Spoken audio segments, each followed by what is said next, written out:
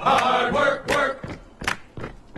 Hard work, work. Hard work. How's it going, everybody? It's Lucas Shaley with KC Pier and Kansas City Property Guys, and today we're actually out in Gladstone, Missouri, doing a little bit of a foundation project in a crawl space. And lucky for us, we got Brian DeFore, our Director of Operations for KC Pier, here on site today, and he's going to explain exactly what we're doing. So let's jump right into this.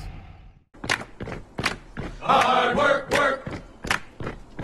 Hard work, work. Hard work, that's what they say. Hard work, work. Hard work, I earn my pay. Hard work, work. Hard work, do it every day. Hard work, I work. get up about a quarter to three. Hard work, Got work. to go and earn my pay. Hard work, Put work. my boots on. How's it going, Brian? So far, so good. Where are we at today? Today we are in Gladstone, Missouri. What we are working on is a crawl space right now. We are putting in 24 I-beam braces, as you can see in the back. We're getting everything prepped and cut so we can get in the basement to uh, install them. The good thing about this job is this is actually for a realtor and a house that is about to close. We are doing the job this week so they can close Monday and we can make the transaction a lot easier for them uh, during the process. We should be done with this job tomorrow depending on uh, how the weather holds up for us in the crawl space.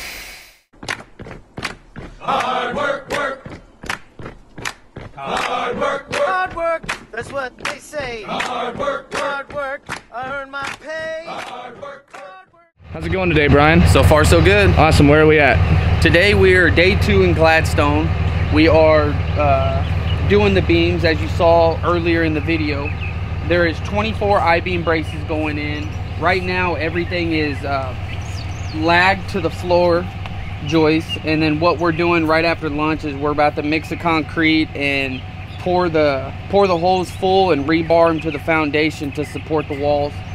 Um, and then out here what you see is there was a ton of water in the basement. So what we had to do was we put a pump in the corner and this is just the, the, the trench that we're going to do for the discharge. We got it dug. Now we just have to plumb everything in, in run the lines and then backfill and we should be done here in a couple hours and wrapped up. Hard work,